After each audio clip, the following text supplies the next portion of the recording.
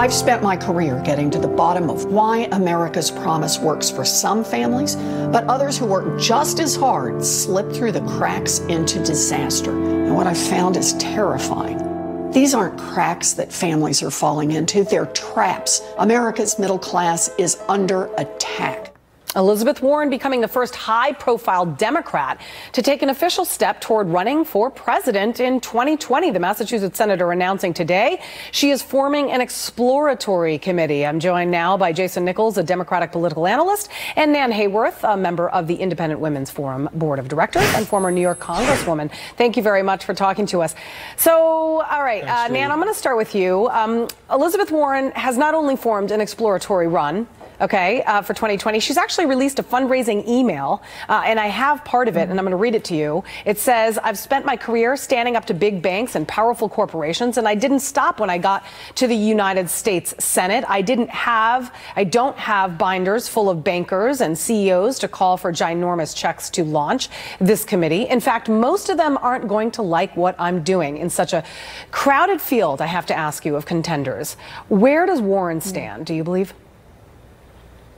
Well, you know, clearly Elizabeth Warren has uh, made a, a, name for herself among Democrats and progressives as a crusader uh, against uh, abuses by the financial services industry. But let's be honest here. Uh, it's the cozy relationship between big industries of any sort, including financial services, and regulators uh, that actually led to a lot of the problems that we saw, including the 2008 crash.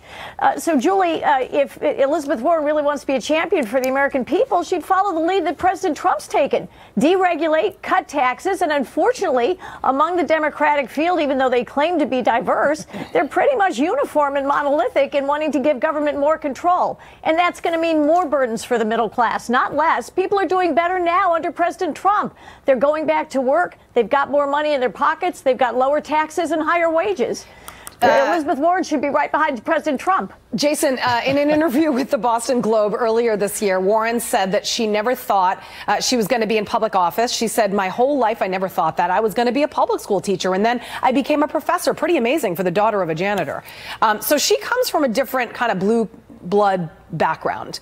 Um, a lot of the Trump supporters are from blue blood backgrounds, despite the fact that he is an elite. I'm wondering how she will appeal to the anti elite. Well, you know, a lot of things actually in, in terms of that haven't really made sense. Like you said, uh, President Trump is a New York socialite who wouldn't have been caught dead in Mississippi or Alabama before uh, he ran for president. But now you have Elizabeth Warren, who actually does come from a working class background. But she may have a difficult time because she is viewed as, as an intellectual elite, someone who uh, taught at Harvard University. Um, so I think she may not be able to, uh, to connect with certain parts of the country. I think what is going to connect are her ideas about Medicare for all. We know that so many people in this country go broke trying to pay for uh, medical expenses and medical bills and lose their homes and lose their farms. I think if she sticks to the issues, not just about her personal image, she will connect with working class voters. Did her DNA test results? Um, I mean, she didn't bring that up. Uh, Nan, do you think that's going to hurt her at all, or do you think people have buried the hatchet there? I, I, you know, Julie, it, it's certainly in a very competitive Democratic field. You know it's going to come up, and rightly so. It's absolutely ridiculous to claim Native American ancestry when, in fact, you have less Native American DNA than the average, uh, you know, the European uh, descendant in this country. I mean, that's just that's just crazy. But again, you know, Julie, the, the Democrats are so focused on things we can't change. Our identity, the whole idea of being American is that we get beyond ethnicity, gender, the zip code we grew up in.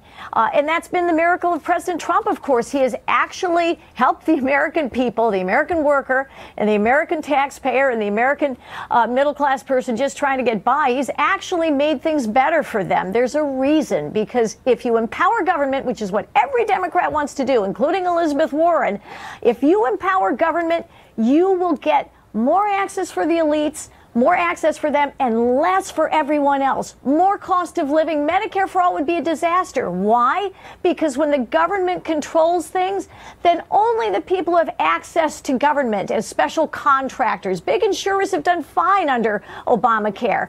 Uh, right. Average Americans have not.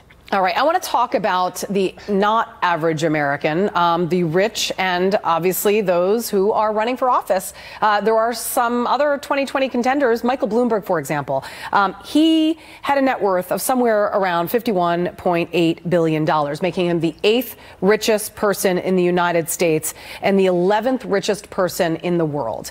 Um, here in New York City, we all know Michael Bloomberg. Many people really love Michael Bloomberg. The question is whether on a national stage. He's known enough. Um, here, I want you to play a little bit of Bloomberg and react to him on NBC Meet the Press on Sunday. Listen.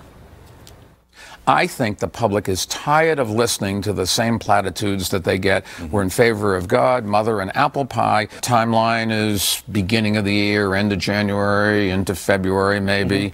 Mm-hmm. Um, there's no rush to do it. Uh, everybody wants to know what you're going to do, and I, the bottom line is, I'm not sure yet. Jason? Well, I think Mike Bloomberg uh, has some issues with the Democratic base. I think that he's viewed as, as a pro business, pro Wall Street uh, centrist in a time when the Democratic base doesn't really want that. And he also has issues with stop and frisk, which was overtly racist. And, you know, we have the, the core of the Democratic Party will always be or has always been African American women. All right. And they're not going to support that. So I think he's going to struggle there uh, to catch on with a lot of Democratic Nan, quick, voters. Nan, quick final word.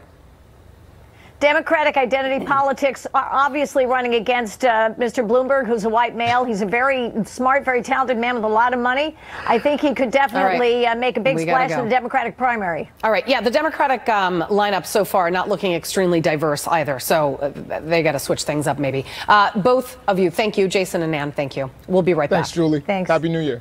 Happy New Year.